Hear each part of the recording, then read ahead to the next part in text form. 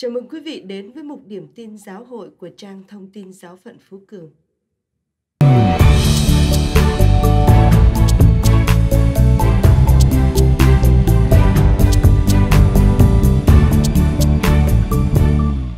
Đức Giám mục Alfonso Nguyễn Hữu Long về với giáo phận Vinh và thánh lễ tạ ơn kết thúc sứ vụ của Đức Giám mục Phaolô Nguyễn Thái Hợp. Tổng thống Panama vui mừng chào đón Đức Thánh Cha. Tổng thống Trump thề sẽ phủ quyết mọi luật ủng hộ phá thai.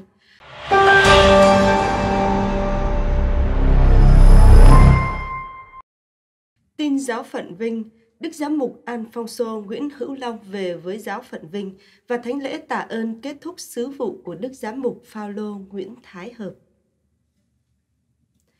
Như đã đưa tin ngày 22 tháng 12 năm 2018 vừa qua, Đức Thánh Cha Francisco đã công bố quyết định thành lập giáo phận Hà Tĩnh và đặt Đức Giám mục Phaolô Nguyễn Thái Hợp làm giám mục tiên khởi cho tân giáo phận và đặt Đức Giám mục Alfonso Nguyễn Hữu Long làm giám mục chính tòa giáo phận Vinh. Vào lúc 15 giờ ngày 20 tháng 1 năm 2019, Đức cha Alfonso cùng đoàn tháp tùng gồm cha tổng đại diện, quý cha trong ban tư vấn giáo phận Hưng Hóa, quý sơ đại diện dòng mến thánh giá Hưng Hóa và quý cha dẫn đường của giáo phận Vinh đã về tới tòa giám mục xã Đoài giáo phận Vinh.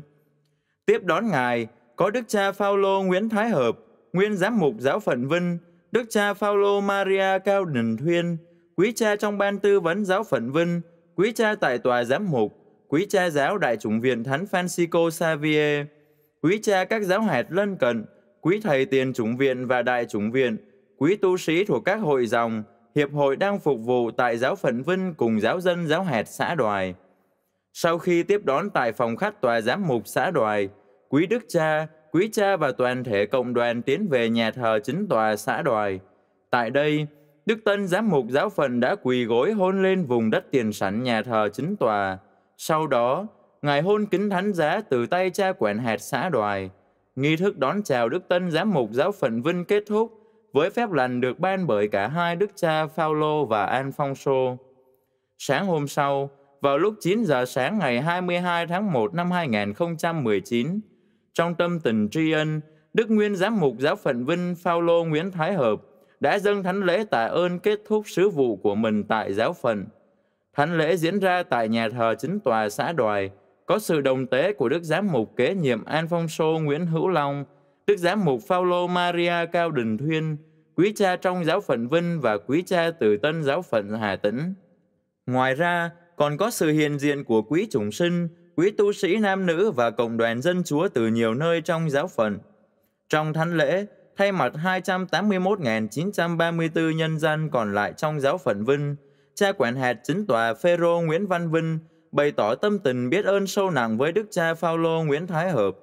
Tiếp lời, Đức Giám mục An Phong Sô với lòng cảm phục của người kế nhiệm cũng bày tỏ lòng biết ơn sâu đậm về những công lao mà hai vị tiền nhiệm, cách riêng là Giám mục Phaolô đã gây dựng tại giáo phận. Để chính thức kết thúc sứ vụ cách công khai, Đức Giám mục Phaolô đã trao gậy mục tử cho Đức Giám mục Alfonso. Cử chỉ đó thể hiện việc trao lại quyền chăn dắt giáo phận cho người kế nhiệm do Đức Thánh Cha chỉ định.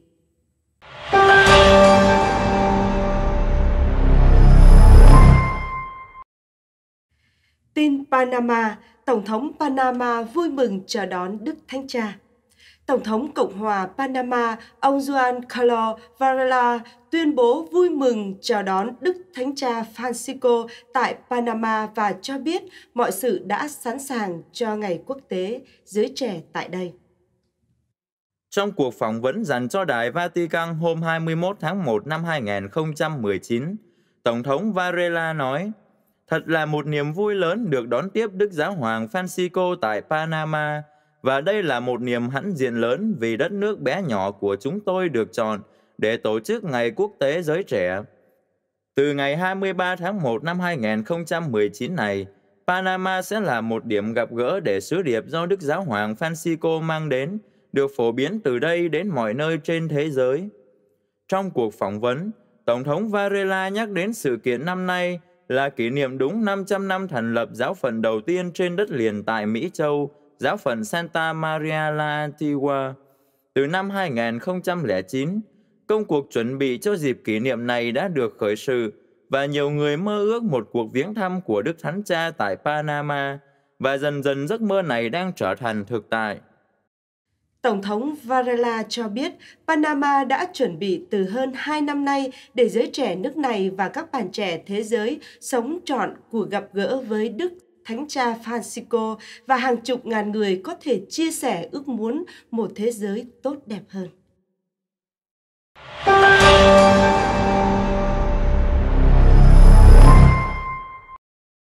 Tin Hoa Kỳ, Tổng thống Trump thề sẽ phủ quyết mọi luật ủng hộ phá thai. Tổng thống Trump và Phó Tổng thống Pence đã gây ngạc nhiên cho hàng ngàn người biểu tình chống phá thai được tổ chức tại Công viên Quốc gia ở Washington, D.C. khi đưa ra những bài phát biểu không có trong chương trình trong cuộc tuần hành phò sinh vào hôm thứ Sáu 18 tháng Giêng. Phó Tổng thống Pence và vợ Karen Pence đã bước lên sân khấu trước những tiếng reo hò thích thú của đám đông, những người phò sinh mang theo các bức chương và biểu ngữ chống phá thai. Phó Tổng thống Pence kết luận diễn từ của mình bằng một bất ngờ thứ hai. Ông loan báo rằng Tổng thống Trump đã nói chuyện trong cuộc tuần hành phò sinh năm ngoái qua một video. Năm nay một lần nữa đã chuẩn bị sẵn bài phát biểu qua video của mình với những người tuần hành. Tổng thống Trump nói trong video của mình, khi chúng ta nhìn vào mắt của một đứa trẻ sơ sinh, chúng ta thấy vẻ đẹp và tâm hồn con người và sự uy nghi trong kỳ công sáng tạo của Chúa. Chúng ta biết rằng mọi cuộc sống đều có ý nghĩa.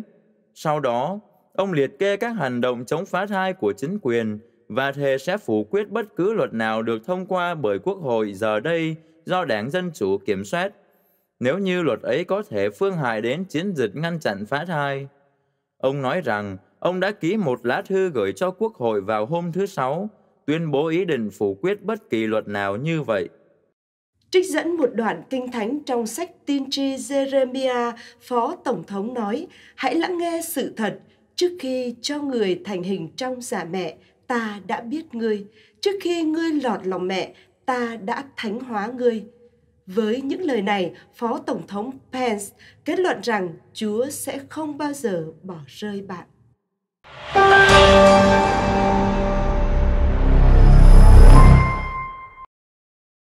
Mục điểm tin trong tuần của trang thông tin giáo phận Phú Cường đến đây là hết. Cảm ơn quý vị đã quan tâm theo dõi. Xin chào và hẹn gặp lại trong các bản tin lần sau.